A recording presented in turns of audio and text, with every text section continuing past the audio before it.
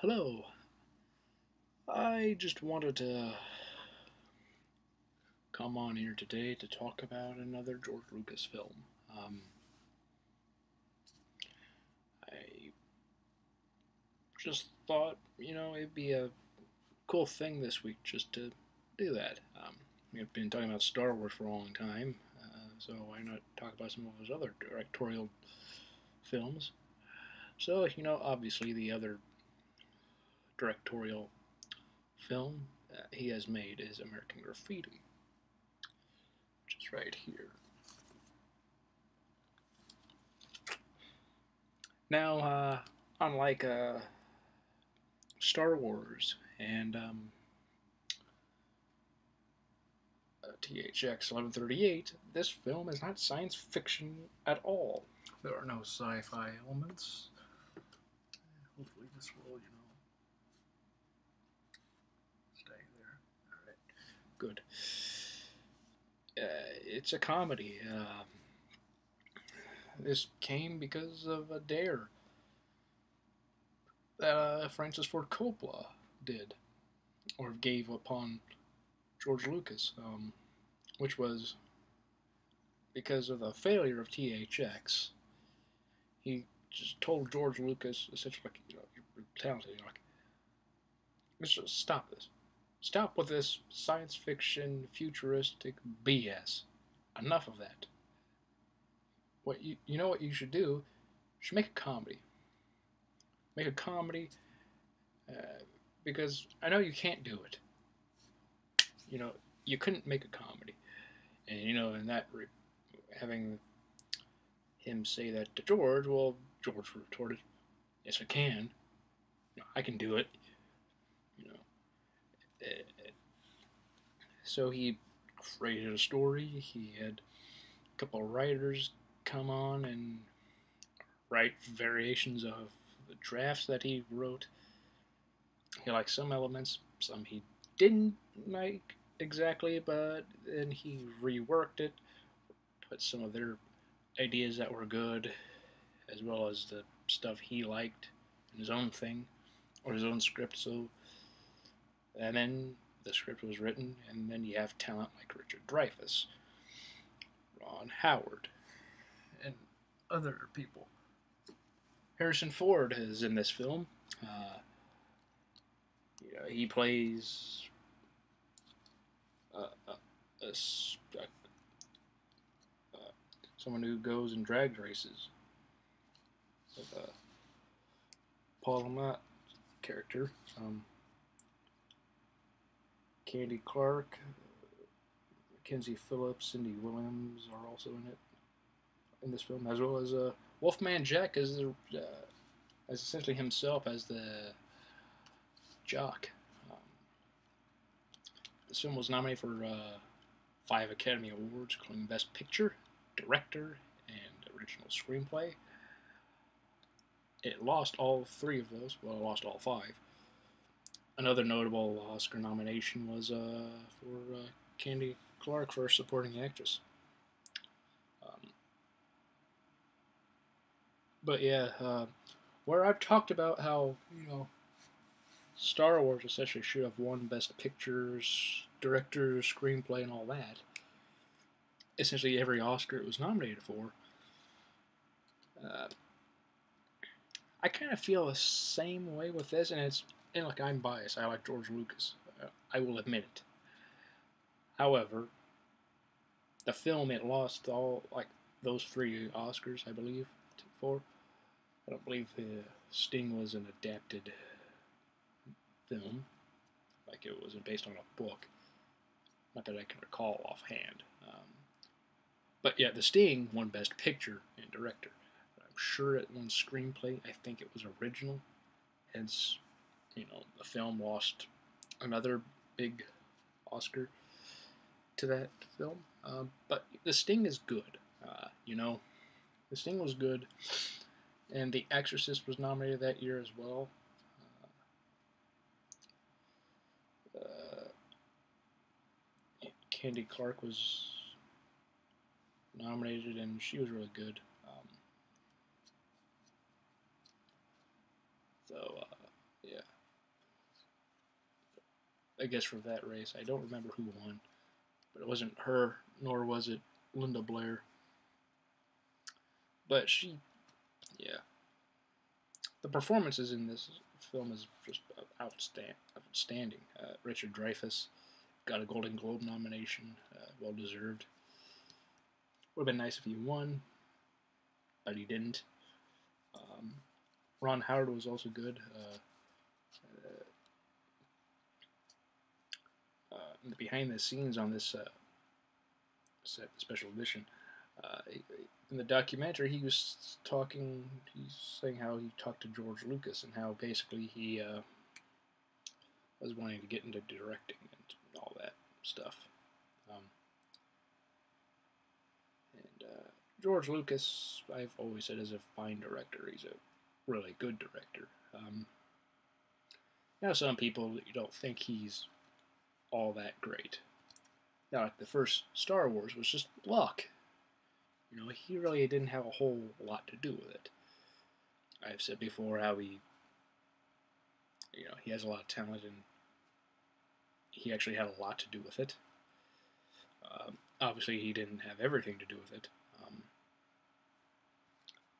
but yeah, I think this is an example of that. Uh, he did not just get lucky with this film, because this film was hugely successful. It was beloved by uh, the public, beloved by critics, won the Golden Globe for Best Picture for comedy, and you know, granted, look, awards don't mean a lot, obviously. I've, I've said that before, but still. To someone like George Lucas, who nowadays just gets berated and stuff, they say he just got lucky with like this film or whatever. This is another movie where he, it's uh, it's really good. He directed it. He wrote it. He had a hand of. He executive produced this film as well. Yeah, it's not saying. Francis Ford Coppola produced it. That's actually the reason he got to make this film in the first place was because, or at least get financing because Coppola did The Godfather. You know, with the how THX 138 happened. Coppola said he said Coppola had to go get a job of, uh, you know, uh, in doing The Godfather, and that was like a experience that he would wish for no director ever, just how the studio was. But that was a success, and thanks to the power of Coppola, George Lucas got his chance to show he can do more than just science fiction, futuristic stuff. Um,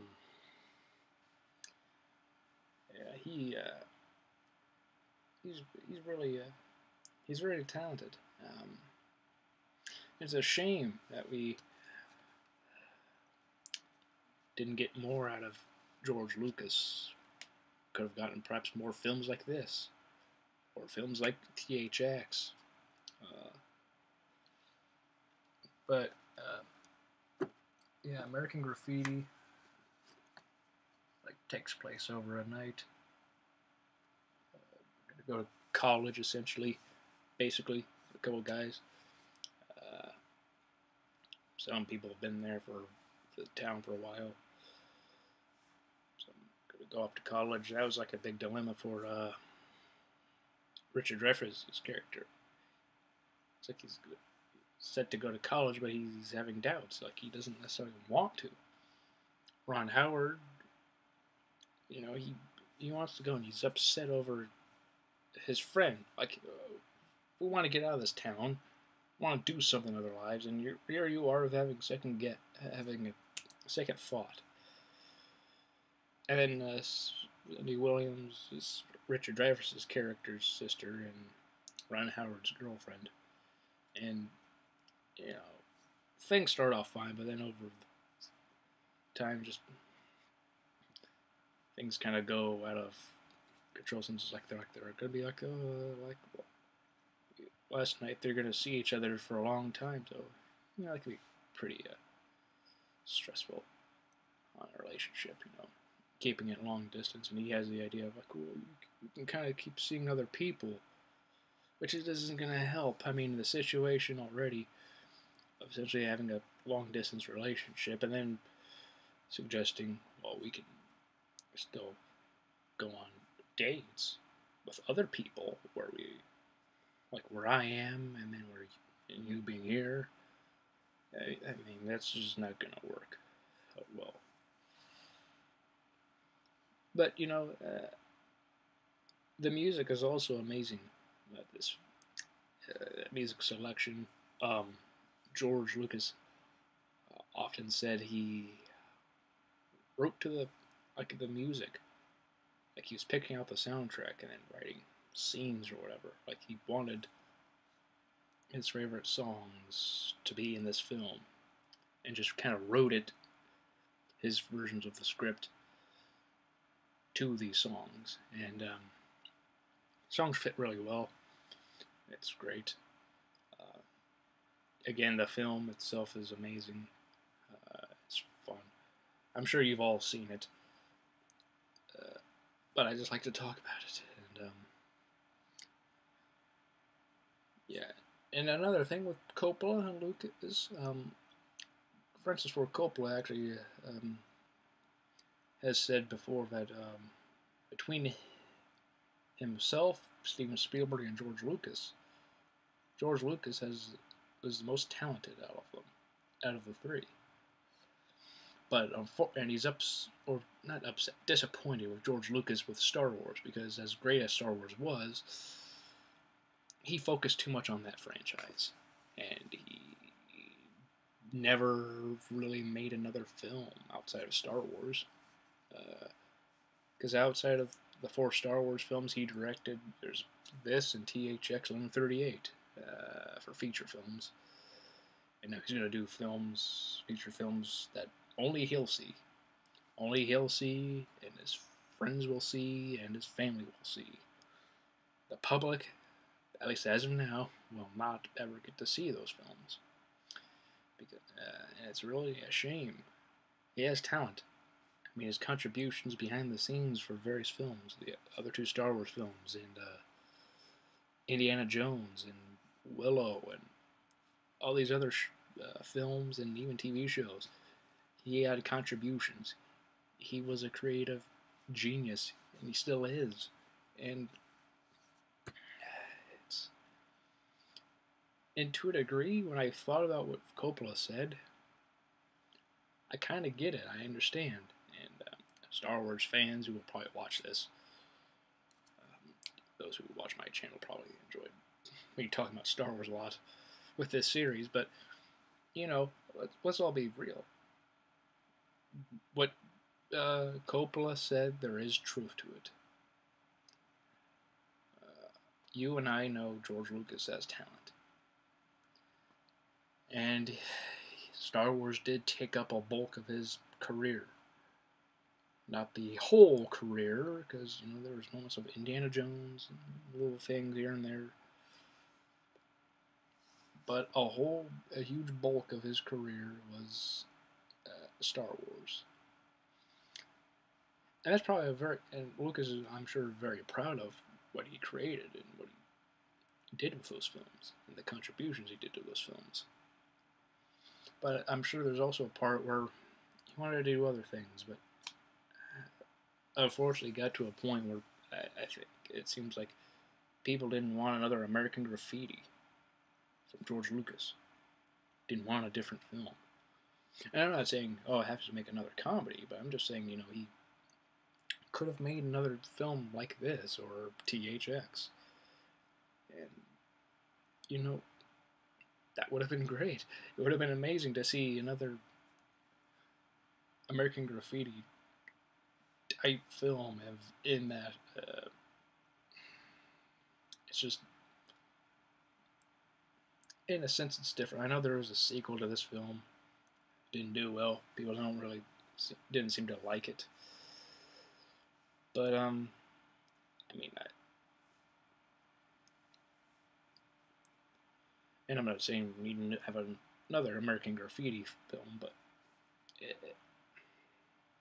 the the movie, like another movie that Lucas makes whatever he makes that isn't Star Wars related or Indiana Jones. Never really got that. I mean, there's Red Tails, and I enjoy Red Tails. I think as a fine film. Now, would it be one of my top ten films of 2012? No, not necessarily. But it's a fine film. But I think Uh, when it came out, there was all this. People had this mindset about George Lucas, and it's like Perhaps that also had a hand of him getting rid of his company. But, you know, I don't know. Maybe it had nothing to do with it. Like the wheels were already in motion, but I don't know. American Graffiti is a great film, though. Um, and I just kind of am rambling right now and uh, about various things. Uh, I just enjoy the stuff of George Lucas has made. I'm not going to talk about Indiana Jones uh, soon. Um, I kind of want to take a little bit of a break from the stuff of George Lucas. As great as he is, you know, you kind of want to step back a bit. Uh, but yeah, uh, haven't I hadn't watched uh, this film in a while. I did recently, and it's still great. I enjoy it. I like to watch it every so often. If you've, I'm sure you've seen American Graffiti, and watch it again. It's great. If you haven't seen American Graffiti, watch it. Fan of George Lucas or not, I think you can enjoy it. It's a good film. You know, he got people together, made something really special. And uh, if you haven't seen it, just don't let the cloud of Star Wars or whatever, uh, or uh, like linger there for you from stopping this, watching this film, or even THX. You know, watch the, these those two films. Watch American Graffiti. Watch THX. Great films. I'd recommend them to anyone who enjoys films. Uh, you know. Yeah. Obviously, George Lucas fans as well. You, you like Star Wars? Here's some stuff that he's made outside of Star Wars. Um, I'm sure people have seen Indiana Jones, but uh, if you've never seen American Graffiti, you should. It's, it's an excellent film. And. Uh, that's really all I have to say this time. Uh, sorry I rambled a little bit, but I don't know, some thoughts with Coppola and Lucas spurred that on. a little ramble. But, you know, uh, I hope if you haven't seen American Graffiti, you'll enjoy it. And if you do enjoy it, I hope you'll watch it again because it's worth it. Alright. See you later.